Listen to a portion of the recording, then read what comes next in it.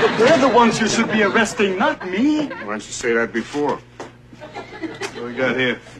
Cam, this is William Klein. He was wrecking an office. But I, I just wanted to meet them face to face. I, I wanted them to admit what they were doing. Who is they? He was in the office of the Trilateral Commission. The Trilateral Commission. Yeah, the Trilateral Commission. All right, what is the Trilateral Commission?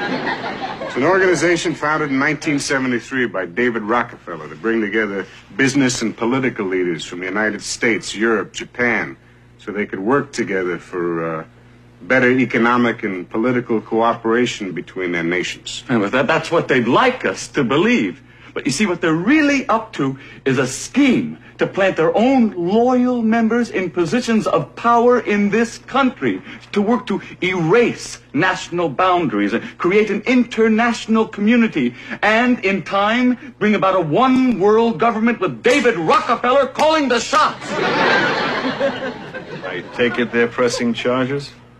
Yeah, well, uh, uh, he broke a globe and, uh, and some UNICEF artwork. Well, they're, they're in on it too. Okay, Mr. Klein, if you I'm just... telling you, our whole way of life as we know it is in jeopardy. I appreciate that information. But I, I- I have, I have the documented evidence. It's all in there. Show him. Well, he's got, uh, got these magazines here. Conspiracy Review?